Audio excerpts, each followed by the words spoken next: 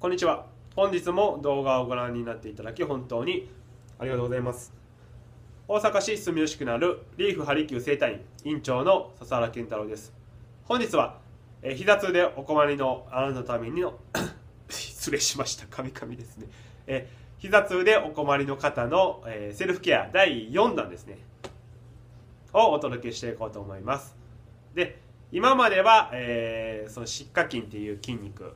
膝の裏の奥の方にある筋肉ですね。とあと太ももの裏。とあと皮腹筋ふくらはぎの筋肉のストレッチについてお伝えしていったいったんですけども最後は、えー太ももの前の筋肉ですね。前の筋肉のストレッチについてお話ししていこうと思います。でなぜこの筋肉重要なのかと言いますと実はあのこの太ももの筋肉って膝痛い方特に横脚の高齢の方であったりとかそういう方って実は過剰に太もも使いすぎてるかことが多いんですね。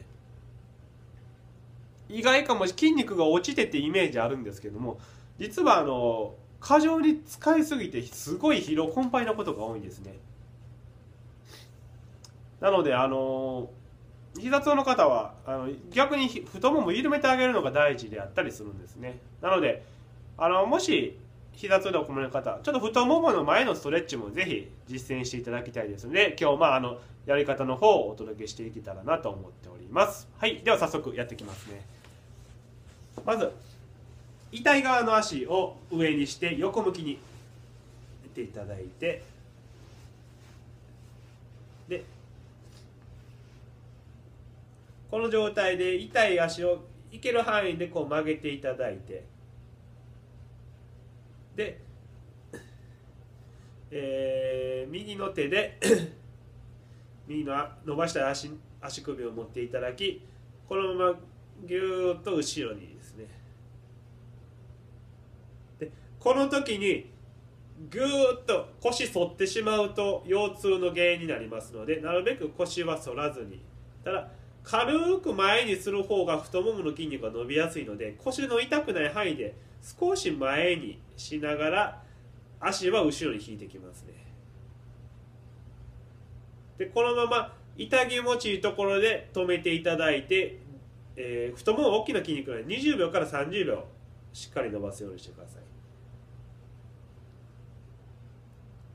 で伸ばしてる時はこうぐいぐい反動つけずに痛気持ちいいところで止めていただいてで自然の呼吸で20秒から30秒ですね。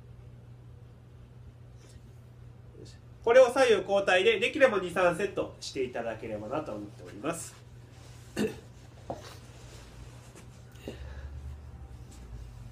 さあこれ膝曲げて痛みの増す方であったり、えーもう膝が、ね、熱持ってうずく方なんかは無理にすると悪化することがありますので、まあ、自分の膝の状態を見ながらいける範囲でやっていってください。ただこういうストレッチであったりをねあの日々していく方が痛みのは出にくくなりますのでぜひ実践していただいてあなたの膝痛みの改善につなげていただければなと思っております。はいそれでは以上ですね。本日も動画をご覧になっていただき本当にありがとうございました。